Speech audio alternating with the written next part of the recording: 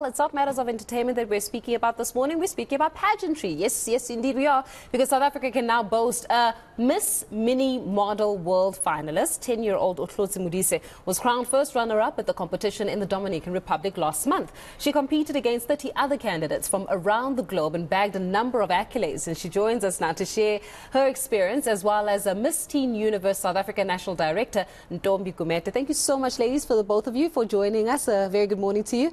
Good morning. Perhaps let's start off with why we're here, the actual princess herself. Uh, just talk to us a little bit about the pageant. I mean, what is Miss Mini Model World Finest? What is it about, Miss Mini World, the actual pageant?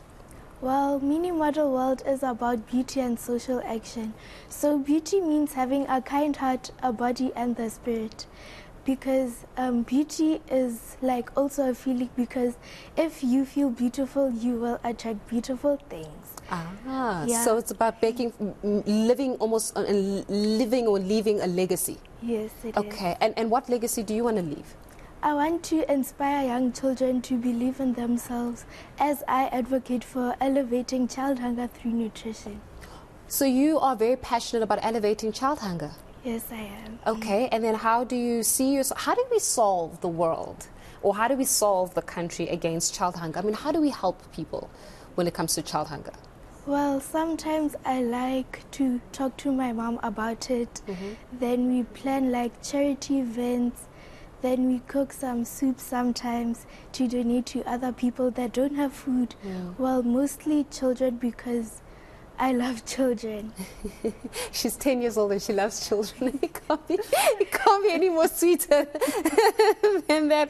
Ntombi, but just talk to us a little bit about um, the importance of pageantry. You know, I, I look at, for example, Ohlotse, and she's 10 years old. You know, she's already been exposed to an international uh, stage, and that can't be easy for a 10 year old. Yes, you make friends and it's fun, but there's so much work that goes in behind it, you know, and, and how important is it, um, and how literally significant is it to be able to expose kids to, to pageantry at such a young age? I mean, are there benefits and pros and cons? Just take us through it.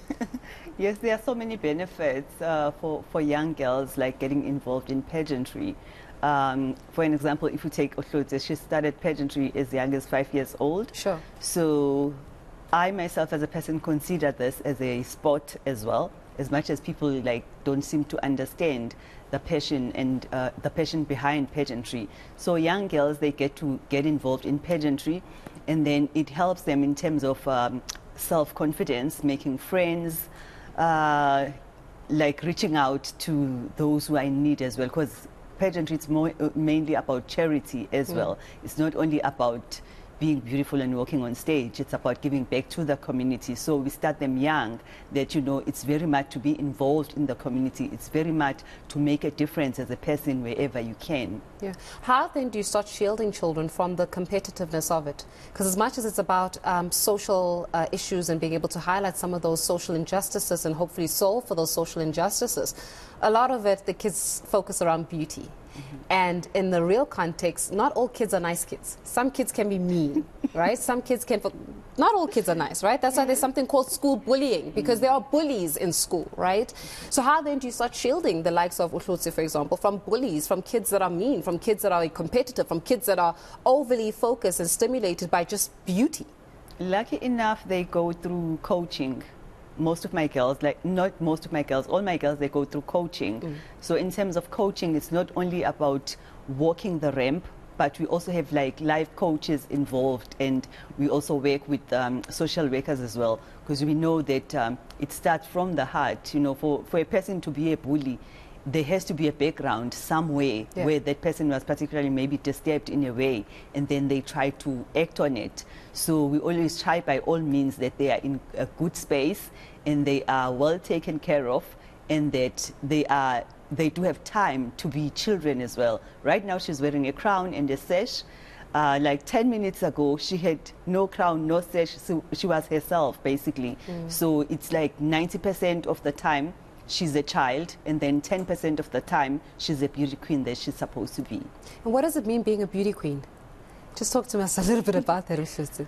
Well, being a beauty queen means like having fun but also being yourself at the same time hmm. because you can't change yourself if you want to be a beauty queen. you have to be yourself, and yeah. Yeah, and, and I know that you had fun at the Dominican Republic. Tell me about your trip there.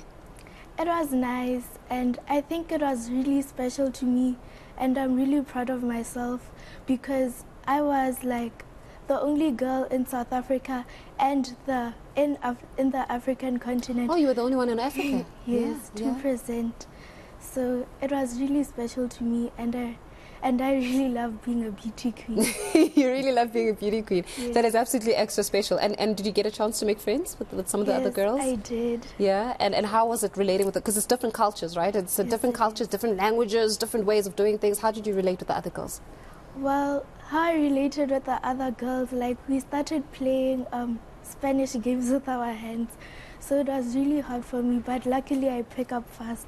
So they really taught me, and it was really nice spending time with the other girls. Yeah, and it's absolutely beautiful because then you, you start fostering um, a, a space for them to become Miss Teen and then to go into Miss South Africa and then to go into Miss World and then Miss Universe and, and, and, and the like and being able to almost expose yourselves to, to the great opportunities that are involved. If parents are listening to this and, and they're thinking, mm, my child has been bothering me for the longest time to get involved in, in some kind of pageantry, you know, because you've got little girls that are like five years old that walk the ramp in the dining room. So how, how then do you start encouraging and even, um, you know, speaking to those parents? What do they do? Uh, I would say the first step will be identifying the right coach for your child because you will definitely need somebody that's going to be there for the child and supportive of the child. So at this point in time, there are so many coaches out there. Some of them are okay, some of them, you know, like taking chances, you know. So it's very important as a parent to be selective as to who do you expose your child to. So that's the advice that I can give them. And then from there, they can just take a step as to which pageant they would want to go for. And then step by step, because I believe it's every young girl's dream, as we did mention that all of them are wanting to be Miss Universe one day, like pageant girls. I believe Ohlotse would want to be Miss Universe one day. So Do you? Do you want to be Miss Universe one day? Yes, I did. Yeah, yes, you do. It's a crown. It's the crown. My whole team is fascinated by the crown that is on her head right now. So she might have to leave her crown behind so we can have turns wearing it. Uh, but it is really, it's about encouraging young people to, to be able to expand their horizons and to really start thinking. And thank you so much for joining us in the studio. And congratulations to you too, Hlutzi. Thank I can't you. wait to see you being Miss Universe. Hopefully I won't be that old when I see you being Miss Universe and I can still see you. Uh, but um, all the best with your, with your future endeavors. And you must wear your sash very proudly. You must show them, everybody at home, about your sash there. There we have it. Uh, young Ohlotse uh, Modise, they're being crowned. Um, the first runner-up, by the way, at the Miss Mini Model World.